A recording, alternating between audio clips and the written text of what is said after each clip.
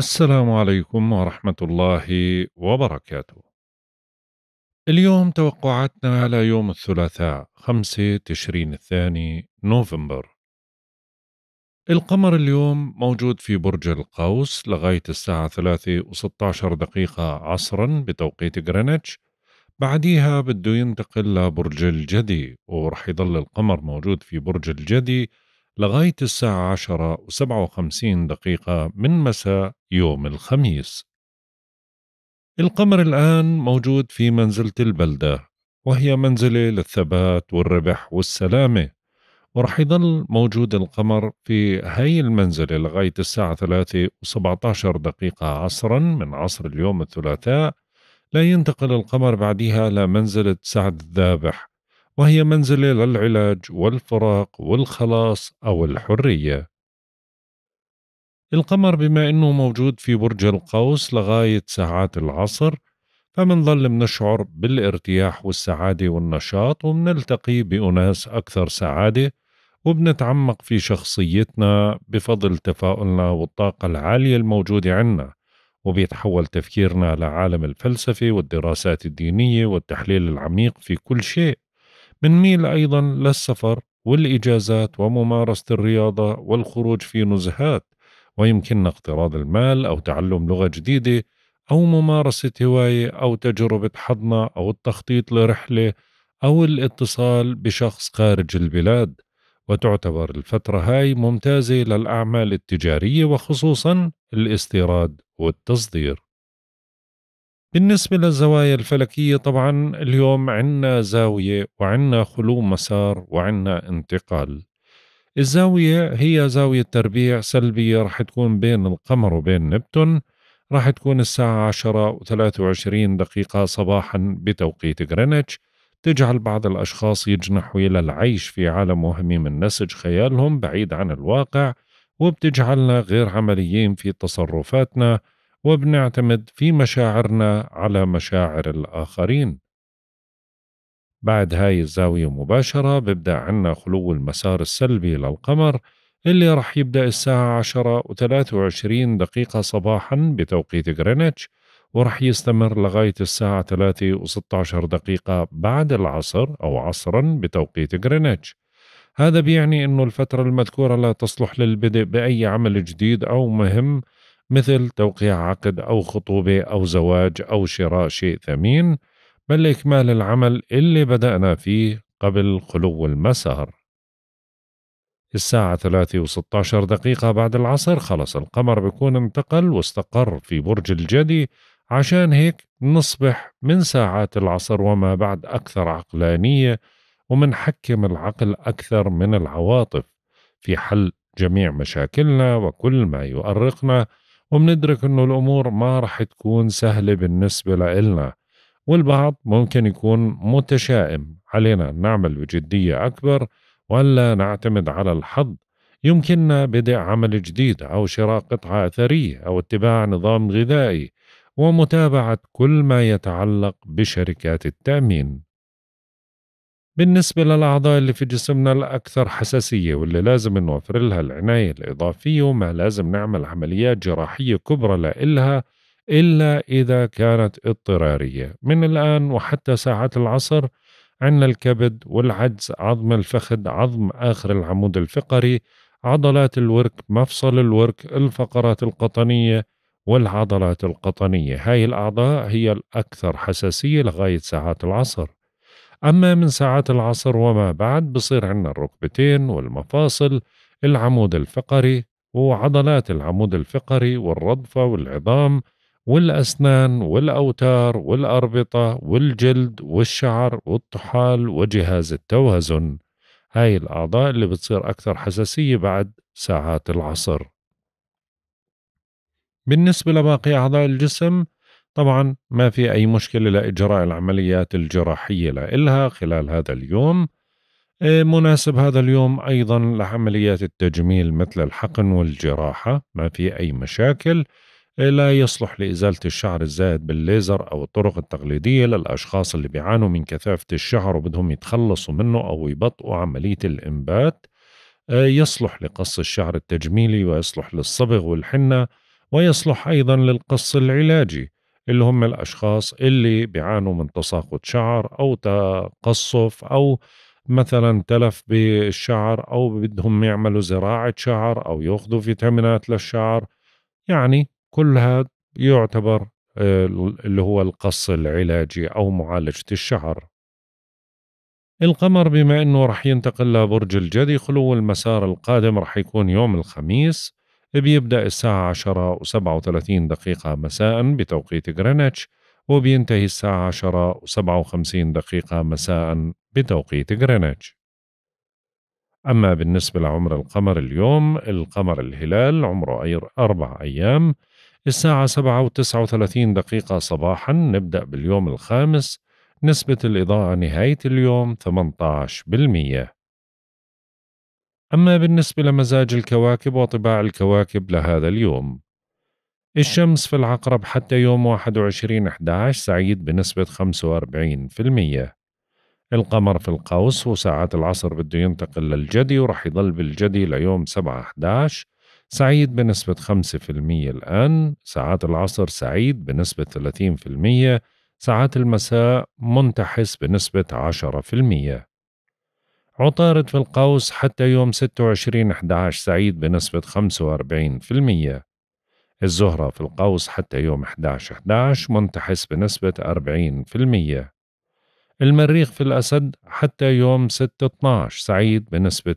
60% المشتري في الجوزاء بيتراجع حتى يوم 4 2 منتحس بنسبة 60% زحل في الحوت بيتراجع حتى يوم 15 11 منتحس بنسبة 10% أورانوس في الثور بيتراجع حتى يوم 30 واحد منتحس بنسبة 5% نبتون في الحوت بيتراجع حتى يوم 7 12 منتحس بنسبة 10% وبلوتو في الجدي حتى يوم 19 11 سعيد بنسبة 15% وصلنا للتوقعات اليومية.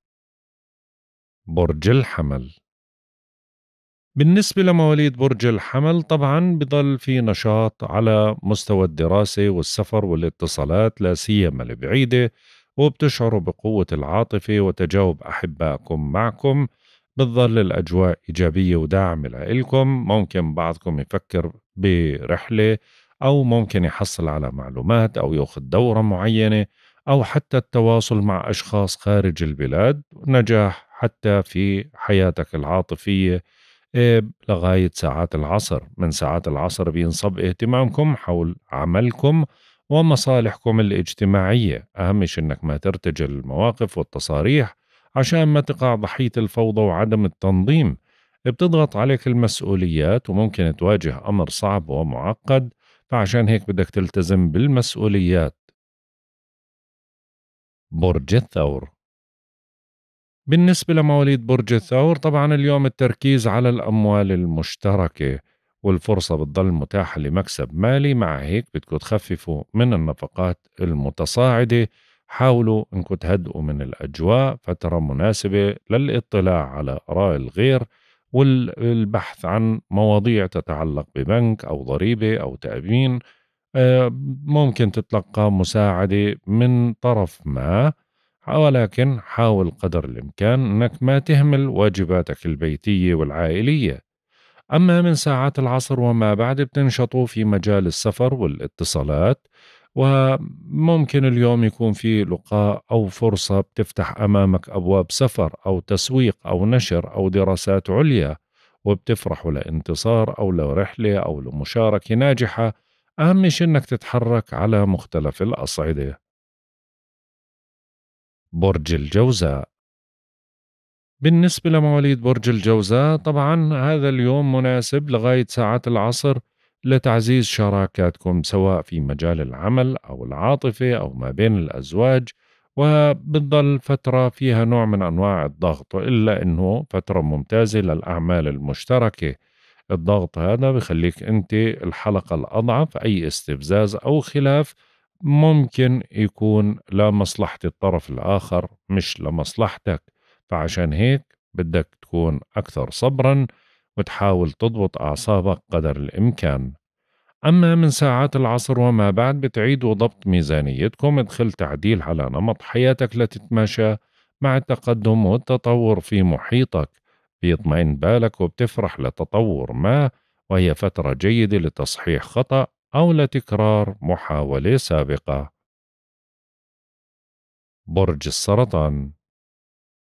بالنسبة لمواليد برج السرطان طبعا اليوم التركيز على العمل وعلى الصحة أكثر شيء لغاية ساعات العصر فعشان هيك بدك تنجز أعمالك حتى لو اضطررت للعمل وقت إضافي وما تلتهي بأعمال غير مجدية. حاول تركز على الأعمال الضرورية والمهمة قبل الانتقال لعمل آخر وأيضا حاول أنك ما تدخل مع أي بأي خلاف مع زملائك بالعمل. أيضا بدك تنتبه لصحتك من بعض التقلبات وإذا شعرت بشيء غير اعتيادي بدك تراجع طبيبك. من ساعات العصر وما بعد بينصب اهتمامكم حول تعزيز شراكاتكم. بدكم تحافظوا على هدوءكم ما ترتجلوا الكلام ما توجهوا ملاحظة لأنه خصمكم قوي في هاي الفترة. وانت الحلقة الأضعف صحيح إنها بتحمل لك هاي الأيام. ارتباط مهم فعشان هيك لازم تحافظ على هدوء أعصابك وما تكون عدائي. برج الأسد. بالنسبة لمواليد برج الأسد طبعا اليوم الأجواء جيدة جدا على مستوى الأمور اللي تتعلق بالعاطفة والتقرب من الأحباء وتعزيز العلاقة معهم. وبظل في نوع من أنواع الحظ بيدعمكم. تنفرج أساريرك بتعيش لحظات سعيدة نسبيا فترة إيجابية لطرح الأفكار للارتباط للتواصل مع الأحبة. وأهم شيء أنك ما تهمل الواجبات اتجاه العائلة. وحاول أنك تستغل هذا اليوم بتصحيح الأخطاء وما تبالغ بمغامراتك. أما من ساعات العصر وما بعد بيتراكم العمل لديكم. ما تهملوا صحتكم حاذروا من تعب صحي أو جسدي. ممكن أنه يمنعك من أداء واجباتك اليومية كما يجب. ممكن تظهر مسألة عائلية أو شخصية طارئة أو تشعر ببعض التوتر. برج العذراء. بالنسبة لمواليد برج العذراء ما التركيز رح يظل على البيت وعلى العائلة لغاية ساعات العصر؟ فبإمكانك إنك تدخل تعديل أو ممكن مشتريات أو مناسبة معينة إلها علاقة بالبيت آه، بتجدوا نوع من أنواع التعاون من أحد أفراد العائلة ولكن برضو بيكون في نوع من أنواع القلق أو التوتر أو التشنج أو العصبية أو مشكلة إلها علاقة بالبيت أو بالعائلة أو حتى صحة أحد أفراد العائلة. فعشان هيك حاول إنك ما تتهرب من المسؤوليات. من ساعات العصر وما بعد بتشتد رغبتكم في التقرب من أحبائكم. بتفرح لانفراج ملموس ترتفع فرص النجاح بتشتد عزيمتك وممكن تقوم بخطوة مباركة أو تتلقى إشارة إيجابية. وهي فترة مناسبة لكثير من الأمور. برج الميزان. بالنسبة لمواليد برج الميزان بتنشطوا بالسفر؟ والاتصالات والحوارات والنقاشات وبتظل فترة مناسبة لإجتياز امتحان وبإمكانكم تعزيز العلاقة مع أخ أو جار. بتظل الحظوظ دعميتك وبتكون جريء في التعبير عن رأيك وبتتمتع بسرعة بديهة وخاطر بتلفت النظر والأجواء ما زالت ممتازة حتى على المستوى العاطفي على مستوى مصالحة على مستوى آه، ورشة عمل لتأهيل قدراتك أو دورة لتطوير إمكانياتك. بعضكم ممكن يهتم ببعض المسائل اللي تتعلق بالسيارات أو الإلكترونيات. من ساعات العصر وما بعد بتفضلوا الأجواء البيتية والعائلية ولكن لطف الأجواء العائلية ضاغطة لأنها بتثير اضطرابك وامتعاضك وما تخالف القوانين واحترم المواعيد والالتزامات المهنية واهتم بعائلتك. برج العقرب. بالنسبة لمواليد برج العقرب طبعا بظل في نوع من أنواع الفرص لمكسب مالي. هذا المكسب عادة بيجي من عمل إضافي آه، ولكن برضو ممكن يكون مستردات هبات نوع من أنواع الدعم هدية أو حتى مكافأة أو استرداد أموال لإلك أو ممكن تنظم فواتير لإلك وتحقق إنجاز فيها ولكن بدكم تكونوا حذرين في النفقات والمغامرات المالية من الآن وحتى ساعات العصر وامتنعوا عن المشتريات الغير ضرورية. ممكن اليوم تهتم لمناقشة دعم مالي أو قرض أو تفكر في بعض الاستثمارات والتوظيفات ولكن حاول أنك تتأكد من المعطيات ومن إمكانياتك. من ساعات العصر وما بعد بتكثر عندكم الاتصالات والتنقلات وهي فترة مهمة للتواصل مع المجتمع ولإسماع صوتك. بعضكم ممكن يكون عنده سفريات أو تنقلات كبيرة. ممكن تقوم برحلة عمل أو تتحرك بفعالية كبيرة أو تقوم باتصالات واسعة تسفر عن اتفاق ومصالحة. برج القوس. بالنسبة لمواليد برج القوس طبعا اليوم الثقة بالنفس أكثر وأكثر نشاط عالي جدا ملفتين للانتباه للجنس الآخر أكثر بإمكانكم تبادروا لخطوة جديدة تدعم من مكانتكم الاجتماعية وانفراج وتقدم ملموس ولكن زي ما حكينا بدك تضبط أعصابك وما في داعي للعصبية وما تتخذ قرارات حاسمة دون التأكد من المعطيات. بتستعيد سيطرتك وبتحقق نجاح. أما من ساعات العصر وما بعد بتعيدوا تنظيم ميزانيتكم لا تغامروا بأموالكم. هاي فترة حذرة ماليا ومعنويا فما تتسرع باتخاذ قرار حاسم.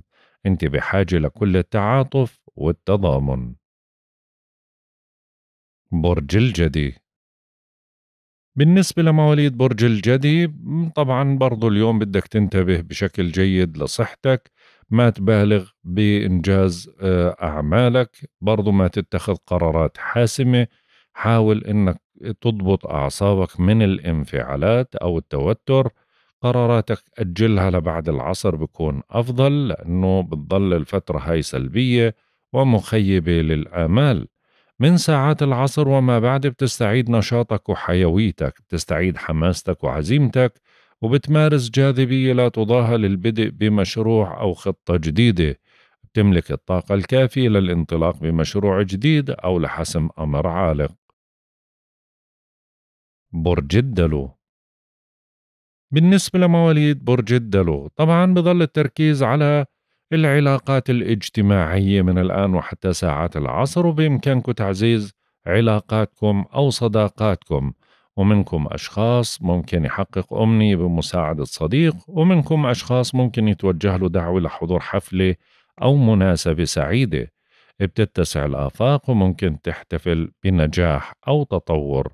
ولكن حاول تستغل علاقاتك ومعارفك لإنجاز وإتمام بعض الأمور اللي بتتطلب مساعدة من طرف آخر.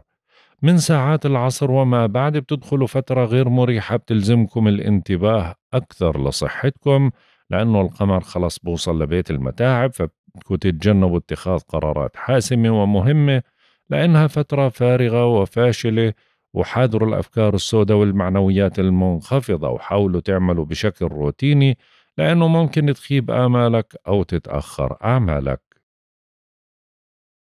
برج الحوت بالنسبة لمواليد برج الحوت طبعا بضل هذا اليوم لغاية ساعات العصر مناسب للأشخاص اللي بيبحثوا عن عمل واللي بيعملوا بينجحوا بالدفع بمصالحهم وبإمكانكم تعزيز العلاقة مع المسؤولين وتحافظوا على إنجازاتكم القائمة. ولكن بدون مغامرات وبدون مجازفات هدئ من روعك ما تنفعل وتجنب المخالفات بكل أنواعها. وحاول أنك ما تشوه سمعتك بتصرف خارج عن الإرادة أو بإرادتك. من ساعات العصر وما بعد بتلتقوا الأصدقاء. حاولوا ترتيب العلاقات المتردية ما تبقوا وحيدين فترة ناشطة وواعدة دراسيا أو مهنيا أو عائليا وبتكثر عندكم الاتصالات والمواعيد. هيك بنكون انتهينا من توقعاتنا لهذا اليوم. والله أعلم. يا رضا الله ورضا الوالدين. سبحانك اللهم وبحمدك.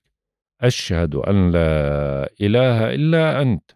أستغفرك وأتوب إليك. أترككم في رعاية الله وحفظه. إلى اللقاء.